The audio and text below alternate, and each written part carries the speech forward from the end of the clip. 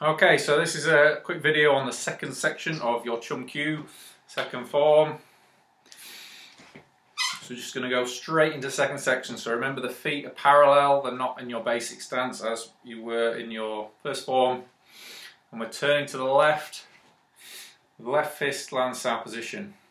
Then we're lifting up the foot into stopping kick position, back down, and then we're stepping with the bong and a guard.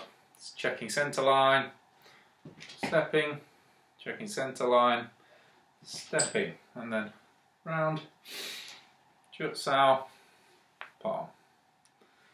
And we're going to do the same on the other side. So it's aggressive lance, it's a fist, stopping kick. So lifting the foot straight up, and then we're stepping, bong and guard, check centre, check centre, and then twisting round, squaring up, contact, side palm, lock out, and then wrist stretch. And that's your second section of Chum Kiu.